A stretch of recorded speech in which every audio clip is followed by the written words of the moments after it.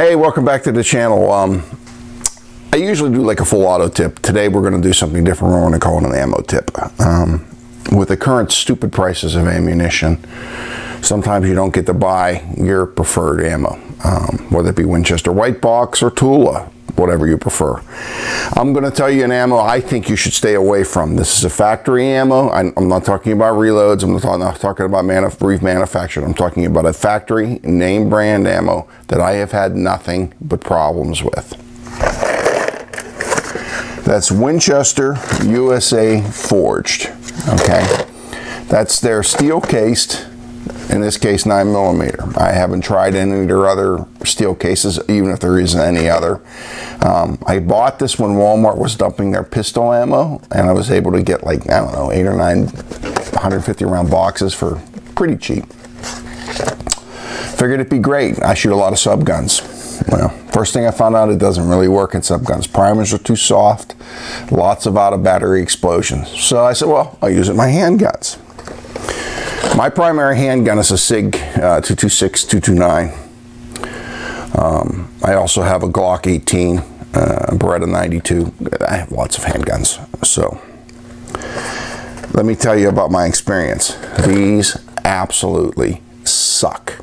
And I'll tell you what I have found. First, if we can, we're going to zoom in. I have a Fiocchi 9mm next to one of these Winchester rounds.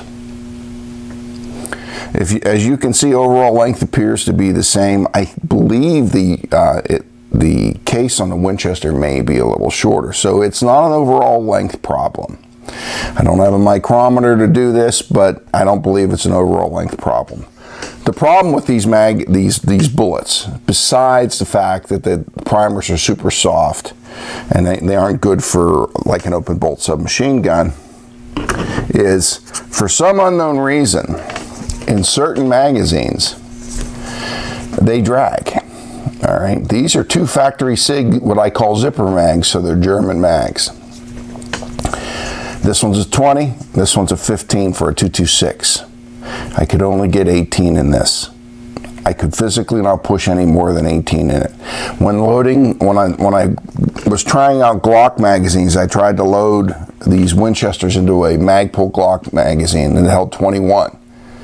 I got 16. AC Unity, I got, uh, not AC Unity, the Korean Glock mags, I got 15 and 18 respectively in a, in a, in a, in a 30 round magazine.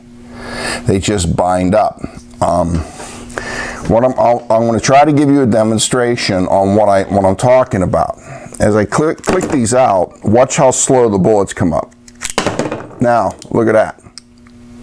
They are dragging.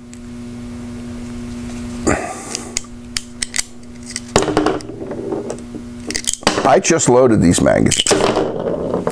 Do you see? And these aren't cheap magazines. These are the good SIG zipper mags. And then when you get down to the last couple, it doesn't seem to bother you. The 20 rounder, which I, as I said, could only get 18 in.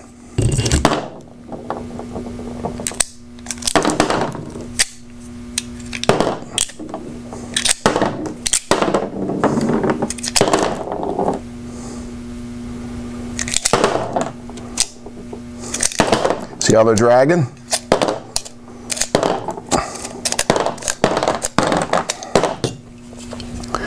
So what I'm trying to tell you is, in today's world, you may not get a chance to buy whatever you normally use with the ammo shortage and the, and, and the panic buying with uh, the uh, Cyrus virus and the uh,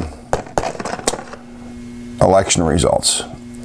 So if you have a chance to buy these, you may not be real happy with the performance you get. Now, if you want to download your magazines, maybe load five or six, they'll probably work. Um, you're not shooting a subgun, they'll probably work. Um, are they worth the money if, if we were living in a real world where ammunition it was available? No. Tula, Wolf, way better steel cases than this any brass cased ammo I've ever found that's factory made is way better than this.